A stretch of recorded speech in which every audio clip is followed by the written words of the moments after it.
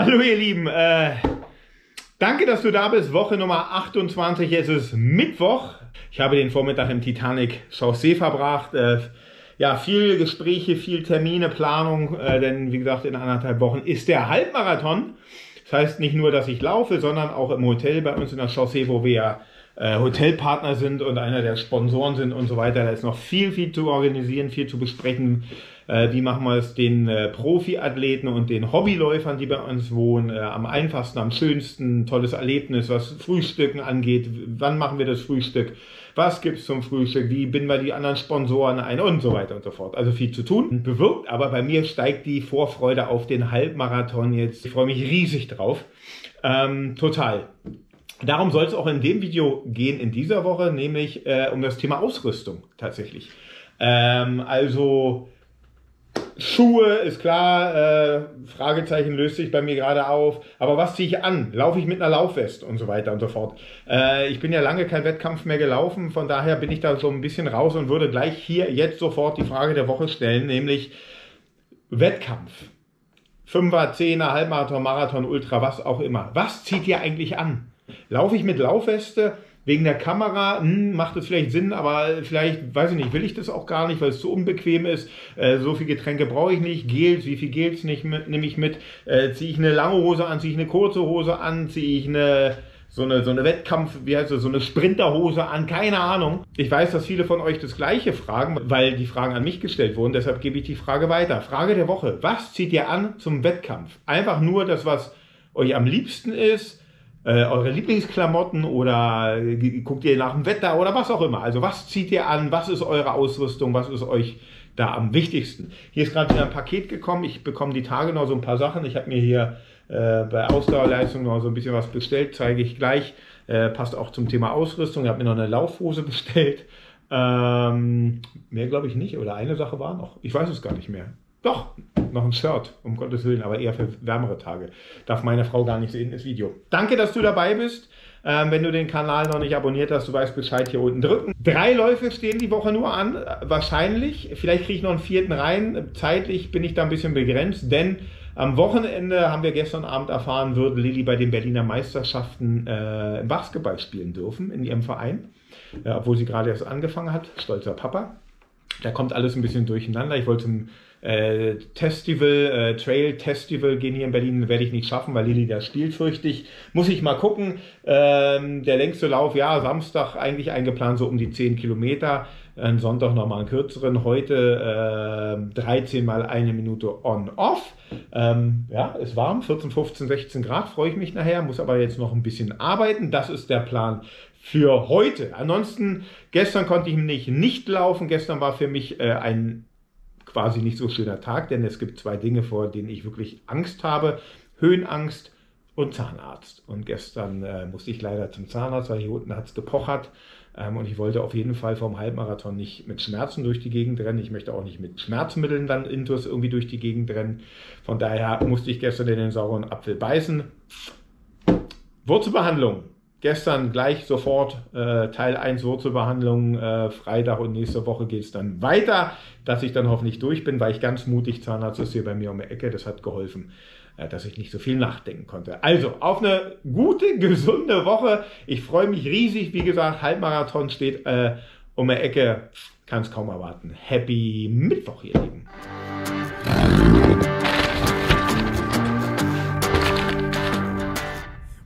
Schmeckt besser als das Gel.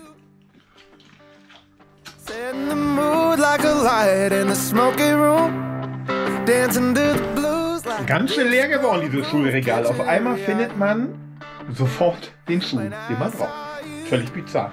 Da war mal 27 Paar drin, jetzt nicht mehr. Habt ihr gesehen vielleicht im letzten Video.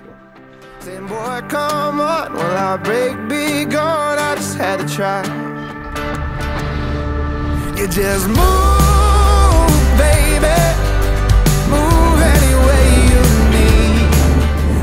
So, bin ich am Olympischen Platz. Für mich hier ideal. Nicht so wirklich spektakulär, im Kreis hier immer zu rennen, aber logistisch die beste Lösung.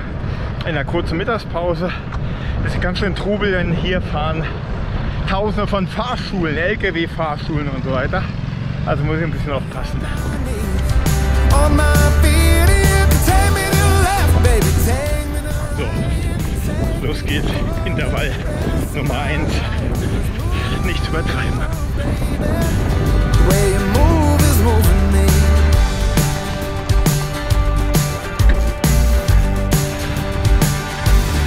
What can I do? Follow along with your hips, feet, heartbeats on the and just in your head. Noch drei Stück. Macht Spaß, macht total Spaß. Hier geht es immer runter und ein bisschen Rückenwind, andere Seite berghoch und logischerweise Gegenwind. Aber ich finde, das macht Spaß. Man achtet auf die Form, aufrechter Körper. Darum soll es gehen. Beine, Turnover, sagt man, glaube ich. Kadenz ein bisschen höher zu bekommen. Äh, den Puls einen Tick höher zu bekommen. Einfach mal andere Reize setzen. Das ist der Sinn, warum ich das mache. Auch für den Kopf gut. Nicht immer nur öde, langsam durch die Gegend zu rennen.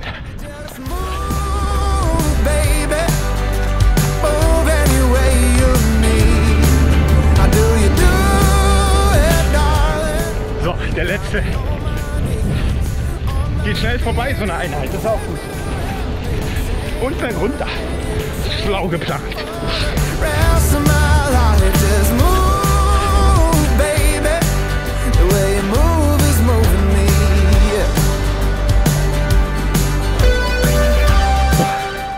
Eine Minute Erholung. Dann trabe ich nach Hause, duschen, weiterarbeiten. Happy Mittwoch. Was ist bei dir? Wie oft bist du so physioaktiv?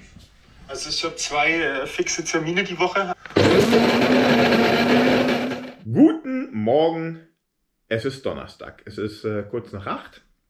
Ich fange gleich an zu arbeiten. Erstmal ein Bulletproof Coffee. Den habe ich mir jetzt gemacht ähm, statt Frühstück. Das wird also mein, meine Energiequelle heute Morgen. Erstmal brauche ich keine Kohlenhydrate essen. Und das ist auch, glaube ich, ein gutes Stichwort, weil ich war vor einer Viertelstunde ungefähr auf der Waage und siehe da, ich blende es hier mal ein, das ist passiert. Ich bin jetzt bei ziemlich genau 10 Kilo, die ich abgenommen habe. Äh, freue ich mich riesig. Vielleicht sehe ich mal seit, keine Ahnung, 10 Jahren, 15 Jahren mal wieder eine 8 vorne. Ähm, zu viel will ich aber auch nicht, sonst passen die Anzüge wieder nicht und die Hemden wieder nicht, aber dann in die andere Richtung. Ansonsten versuche ich in der Mittagspause eine Runde zu laufen. Im Moment schüttet es hier wieder in Berlin. Ähm, aber da habe ich ja noch ein paar Stunden Zeit. Vielleicht hat sich das dann geändert. Jetzt erstmal mein Bulletproof Coffee. Happy Donnerstag. Der Tag geht richtig gut los. So, kleines Essen. Vegane Pancakes sind es. Warum auch immer. Ähm, essen und dann gehe ich so um eins in der Mittagspause laufen, also in anderthalb Stunden ungefähr. Dazu gibt es ähm, Apfelsaftschorle mit ein bisschen Kolla wie heißt es? Kollagenpulver. So,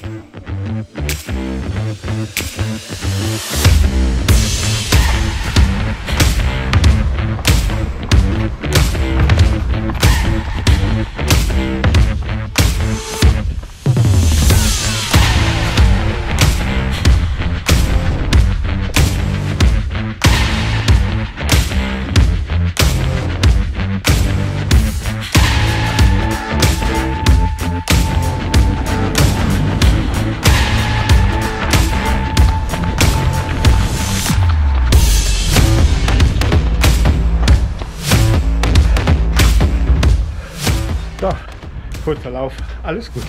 Happy Donnerstag. Weiterarbeiten.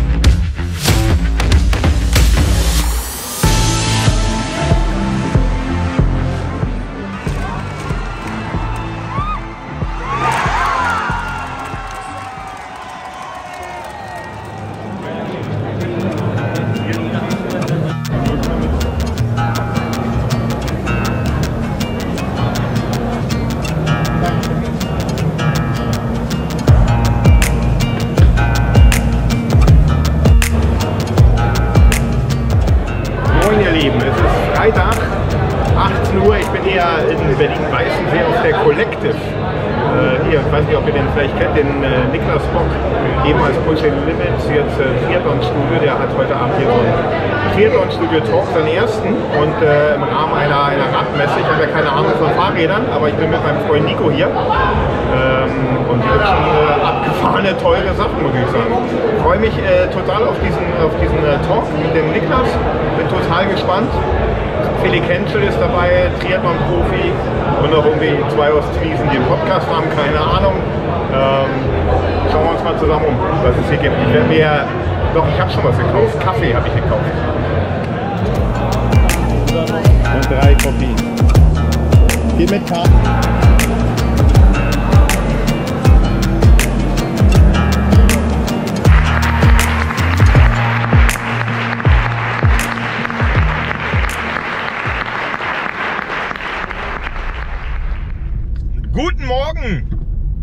Ich wünsche euch einen fröhlichen Samstag. Es ist äh, 9 Uhr und ich bin auf dem Weg zum Grunewaldturm. Denn da laufe ich jetzt eine Runde, aber eine kleine. Aber B ist da heute auch das Berlin Trail Festival, so nennt sich das, glaube ich. Ähm, da sind so ein paar Marken, ich weiß gar nicht, wer da alles so rumspürt, kann man ein bisschen testen. Das werde ich nicht machen, aber ich will ein bisschen gucken, mal gucken, wen ich da sehe. Ich glaube, der Markus ist auf dem Weg dahin auch. Ähm, einfach ein bisschen gucken. Ich finde es sowieso toll, wenn jemand sich so engagiert und sowas auf die Beine stellt hier in Berlin. Heute, wie gesagt, Läufchen. Dann Lilly Basketball. Die spielt heute um die Berliner Meisterschaft, Tag Nummer 1. Äh, das ist das Entscheidende am Wochenende. Da äh, ja, ordnet sich dann der Rest unter. Auch jetzt mein Lauf, deshalb so früh, damit ich jetzt laufen kann, dann schnell nochmal gucken kann, wie gesagt, bei dem Trail Festival. Also, Happy Samstag, ihr Lieben. So, angekommen und gleich so viele nette Leute getroffen. Das ist herrlich. Ich weiß auch nicht, wo ich lang laufe. Ich habe überhaupt keinen Plan.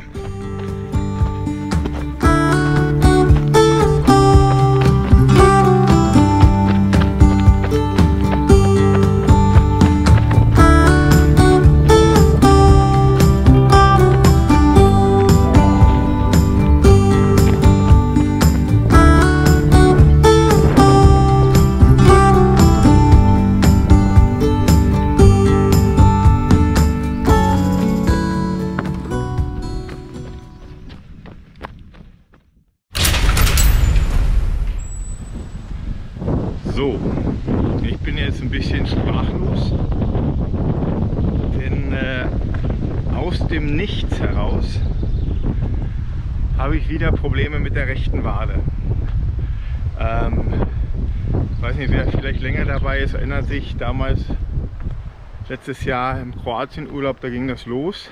Man hat mich dann den Marathon gekostet. Und äh, einfach so, ich laufe und dann merke ich es in der Kniekehle, Wade, so irgendwie so der Übergang fängt an zu ziehen. Das hat damals ewig gedauert. Ähm, da hat mir der Christian geholfen, dem habe ich auch gerade, also mein Osteopath, den habe ich auch gerade eine WhatsApp-Sprachnachricht geschickt, ob wir uns vielleicht schleunigst sehen können. Bitte nicht. Echt. Bitte, bitte nicht. Ich gehe jetzt zurück zum Trail Festival und dann zum Basketball mit Lilly. Ich könnte gerade, ihr wisst, was ich meine.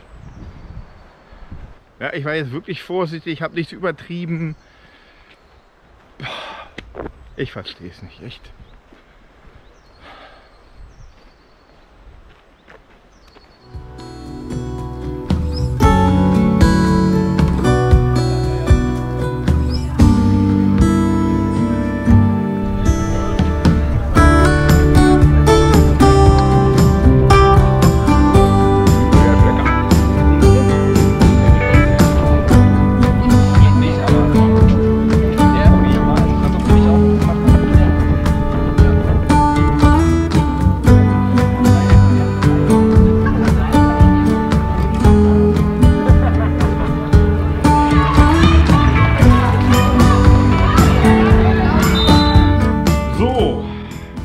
Wieder zu Hause. Kleines Update.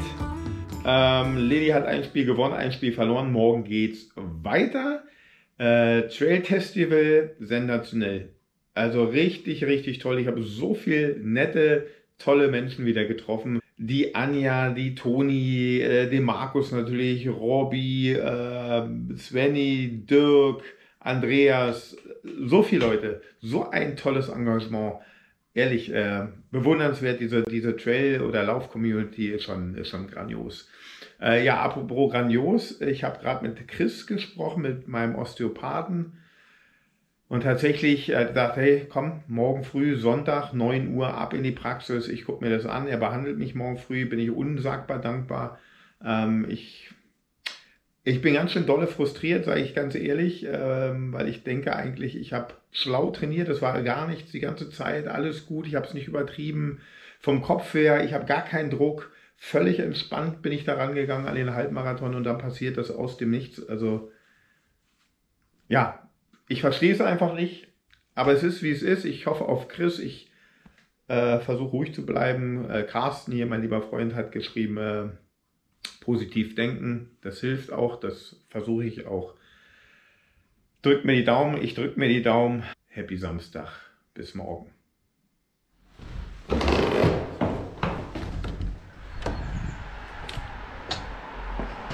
Guten Morgen. Es ist Sonntag. Es ist Sonntag früh, 8.20 Uhr, 8.30 Uhr. Sommerzeit, also eigentlich erst 7.20 Uhr. Und was macht man Sonntag früh? Man geht zum Osteopathen. Äh, ja, Chris macht seine Praxis extra auf für mich heute. Wir treffen uns am 9. unfassbar. Und dann schauen wir mal. Ich habe so ein bisschen das Gefühl, es könnte echt der untere Rücken sein. Aber mal gucken. Dann geht es wieder zum Basketball. Und dann irgendwie, darum sollte es ja eigentlich gehen in dem Video, geht es um das Thema Ausrüstung zum Halbmarathon. Also dranbleiben, happy Sonntag. Hoffentlich.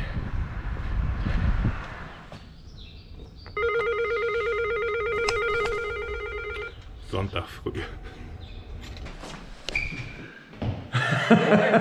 mein, mein Held, mein Retter, Sonntag früh, da muss man auch erstmal sagen, es ist nicht selbstverständlich, sowas zu machen. Äh, Chris hatte gestern schon eine Idee, Rücken könnte sein, hast du gesagt? Irgend sowas Könnte unter könnte es eventuell sein. Und ich merke schon beim mal. Aufstehen heute. Könnte aber auch. Im Rücken, Ja, ich merke es ganz doll im Rücken. Ja, okay. Also, schauen wir mal. geht los. Den Boden finde ich dann. Bis gleich.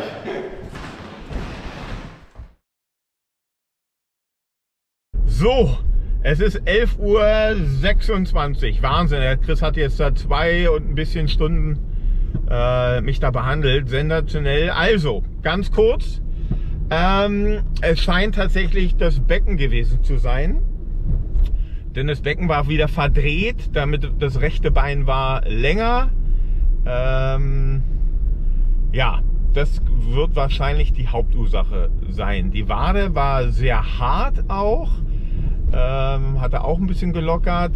Ähm, ich habe auch dann tatsächlich äh, vorher, nachher so einen kleinen Probelauf gemacht. Äh, Der Lauf vor der Behandlung, also nur wirklich 30 Meter hin und zurück auf dem, auf dem, auf dem Gehweg, da habe ich es gemerkt. Jetzt nach der Behandlung habe ich es nicht mehr gemerkt.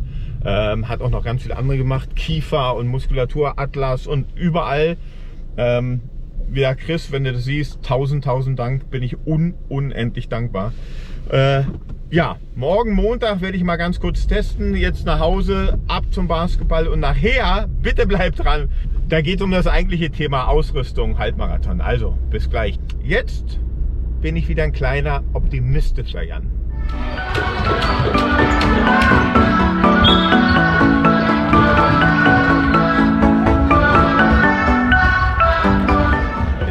So, es ist jetzt halb acht Uhr schon. Ähm, wir sind jetzt zu Hause. Basketballturnier war richtig gut, hat Spaß gemacht. Lilly ist Fünfte geworden mit ihrer Mannschaft. Äh, hier in der Berliner Meisterschaft von 16 Mannschaften. Hat richtig Spaß gemacht. Wir waren da mit den anderen Eltern und mit den ganzen Kindern gerade noch beim Mexikaner Tacos essen. So, Halbmarathon, Ausrüstung, Schrägstrich, Verpflegung. Das ist Titel des Videos, kommt jetzt leider ganz am Ende, aber wieder auch die Umstände die Woche haben sich halt irgendwie so ein bisschen anders ergeben. Also, ich fange mal an mit der Verpflegung. Greife mal hier rüber. Ähm, ich werde, so habe ich beschlossen, ähm, ja, zum Frühstück und auf dem Weg zum Startziel ähm, so einen Drinkmix nehmen hier von Morton. Ich habe jetzt den 320er in der Hand, ich werde aber den 160er nehmen. Also den gibt es so dann im Laufe, wie gesagt, Frühstück, Weg zum Start, äh, dass ich da ein bisschen was äh, zu trinken habe. Das wird das. Dann nehme ich mir mit drei Gels. Ich habe mich am Ende dann doch für Morton entschieden. Warum? Ganz einfach, das Zeug gibt es einfach auf der Strecke.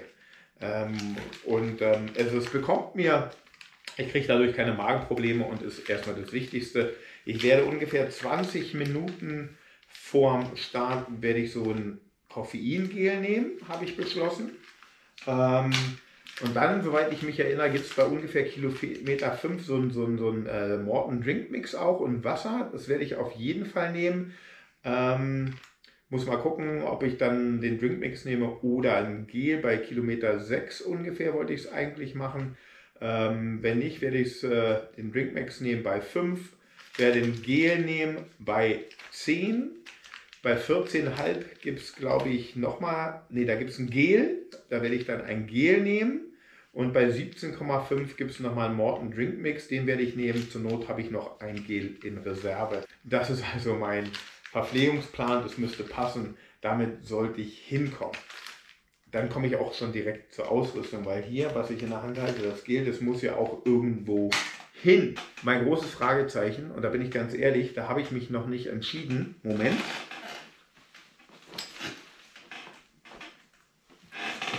Ist das Ding hier. Das ist meine Solomon äh, Laufweste und ich bin noch nicht sicher, ob ich die nehme oder nicht. Warum will ich die nehmen? Wegen der Kamera. Ich nehme ja die GoPro mit und da ist es ganz angenehm, wenn ich das Ding hier oben verstauen kann. Dann kann ich hier natürlich auch noch ein Gel reinpacken oder was auch immer. Ähm, aber da habe ich noch ein großes Fragezeichen auf der Stirn. Meine Tendenz im Moment, das wegzulassen. Aber mal gucken. Ich weiß es noch nicht. Auf jeden Fall habe ich dabei hier auch von Salomon, glaube ich, meinen Hüftgurt oder was es ist. Äh, da wird auf jeden Fall vorne das Handy reinkommen. Da wird mein Schlüssel reinkommen, beziehungsweise meine Schlüsselkarte, denn ich schlafe die Nacht vorher bei uns äh, im Titanic Chausseestraße. Äh, hier hinten auf jeden Fall zwei Akkus oder drei Akkus für die GoPro. Und dann habe ich hier hinten noch eine Tasche, da gucke ich mal, was ich reinmache. Da könnte ich zur Not auch vielleicht beim Laufen die Kamera hinten reinmachen. Das muss ich aber erstmal üben. Also das Ding auf jeden Fall. So, dann fangen wir mal an. Oben, ich bin kein Wetterfrosch, deshalb kann ich nicht sagen, wie wird das Wetter. Ähm, Im Moment sagt so der Wetterbericht 8, 9 Grad, glaube ich, Pi mal Daumen. Das weiß ich also noch nicht. Deshalb habe ich im Moment hier mir was Langärmeliges rausgesucht. Ähm, schwarz macht schlank. Deshalb schwarz, langärmlich, ganz normales Laufshirt. Sollte es zu kalt werden, werde ich dann noch was drunter ziehen. So ein Kompressionsding. Ob es am Ende hier dieses von den Craft Runners wird, weiß ich noch nicht genau, aber auf jeden Fall in die Richtung geht es. Langärmlich. Hose habe ich mich jetzt dann doch für die hier entschieden. Von, wie heißt es?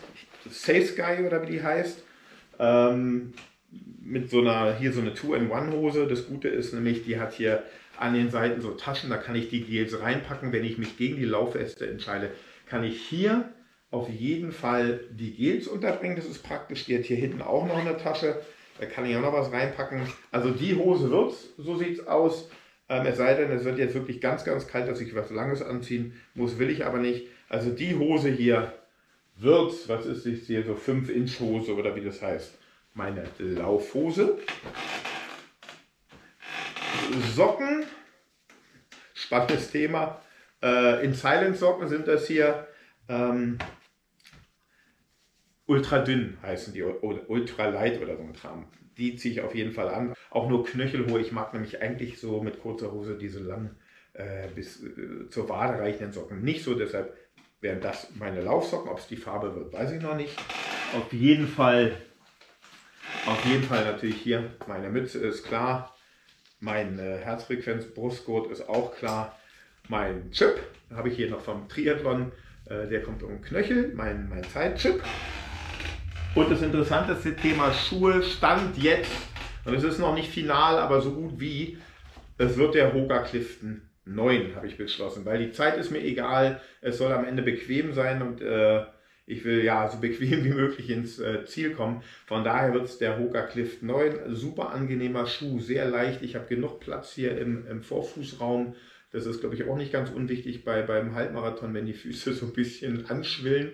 Äh, gibt tolle Bilder im Kopf. Äh, dann ist der hier super bequem. Also mit dem hatte ich noch gar keine Probleme. Also Stand jetzt wird es der Hoga Clifton 9 am Fuß. Jo, das war's, glaube ich. Ähm, klar, Wechselsachen nehme ich auch mit, ist auch, auch logisch. Ähm, eine Jacke und so weiter, eine Regenjacke. Wie gesagt, wenn es regnet, klar ziehe ich auch eine Regenjacke an.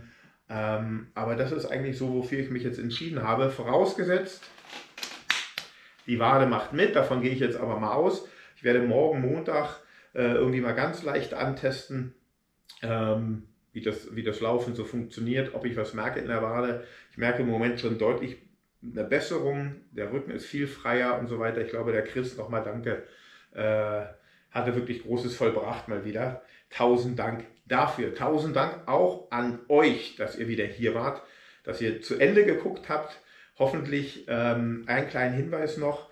Äh, vorausgesetzt, ich laufe den Halbmarathon. Ich hatte das angekündigt in so einem kleinen YouTube-Video. Ähm, ob ich ein langes Video machen soll, Montag bis inklusive Sonntag, oder ob ich machen soll Montag bis Samstag und dann ein äh, extra Video für den Renntag. Das Feedback war eindeutig und so werde ich es auch machen. Und zwar wird es so sein, wenn alles normal läuft, gibt es ein Video Montag bis inklusive Samstagabend. Da haben wir noch Sponsorenabend und so weiter, ein bisschen Behind the Scenes im Hotel.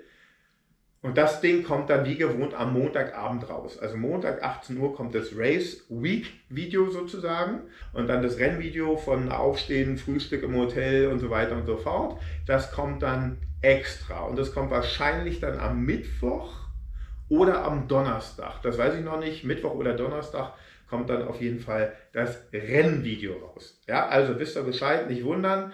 Die Mehrheit von euch hat sich so gewünscht ich mir am Ende auch. Ach so, wollte ich noch sagen, Halbmarathonmesse. Ich werde Samstag auf der Halbmarathonmesse sein, werde um 9 Uhr Punkt da sein, werde dann mir meine Unterlagen abholen bei Markus und Janine, die sind da Helfer und werde dann, ähm, ja, ich werde bei Morten am Stand mal kurz vorbeigucken und ich werde bei, den, bei Craft äh, auf jeden Fall mal sein, weil da äh, eine Freundin von mir arbeitet. Äh, also da werdet ihr mich finden, so circa bis dreiviertel elf, elf in dem Dreh und dann äh, muss ich nach Hause. Ich habe noch ein bisschen im Hotel zu tun. Ja, also wer da ist, wer mich sieht, ruft, schreit, tretet mich, wie auch immer. Äh, aber sprecht mich gerne an, würde ich mich riesig freuen. Bleibt gesund, denkt an die Frage der Woche. Wenn ihr den Kanal noch nicht abonniert habt, hier unten drücken. Toi, toi, toi. Auf eine gute, gesunde kommende Woche. Ich freue mich riesig auf euch. Bis dahin, euer Schubertian.